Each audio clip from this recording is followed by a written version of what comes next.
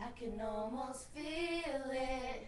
The poop I'm pooping, but there's a voice inside my head saying I'm constipated because I can't feel it. Every push I make feels lost, no direction. My toilet's shaking, but I gotta keep pushing. Gotta keep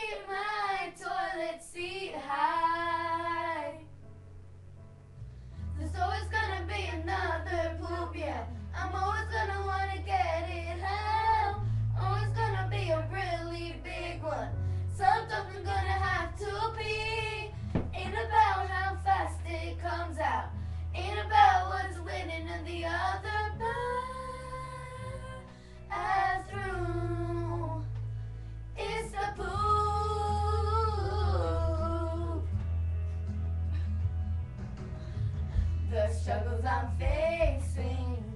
The poops are just so